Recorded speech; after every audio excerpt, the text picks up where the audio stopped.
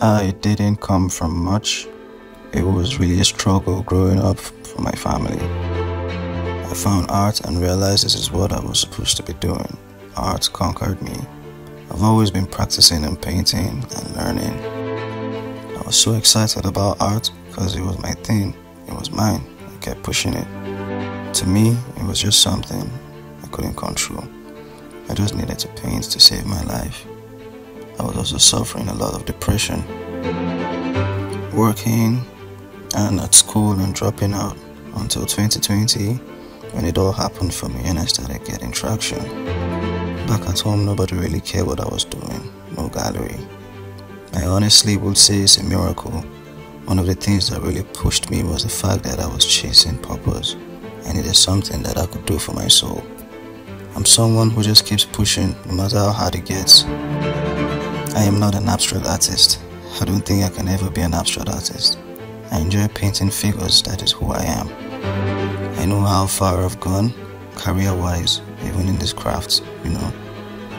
It was a lot of sleepless nights. Most nights I don't sleep, I just think of how to become better.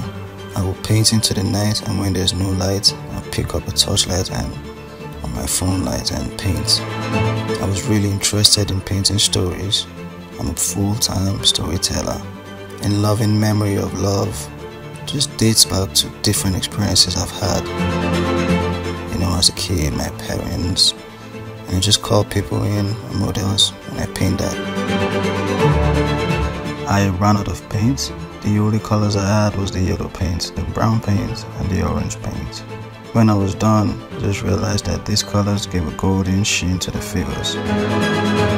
I've taken out the black skin color and I've replaced it with a bronze or golden tone to it. The bronze figure is very close to royalty in the Nigerian scene. I never stop. This is one thing with me. I keep pushing until the whole world hears what I have to say or sees the stories I have to paint. As long as I'm an artist, I will paint what I feel the world needs from me. I just believe it deeply in myself. This is what I have to do, and the world doesn't know they need it till they see it.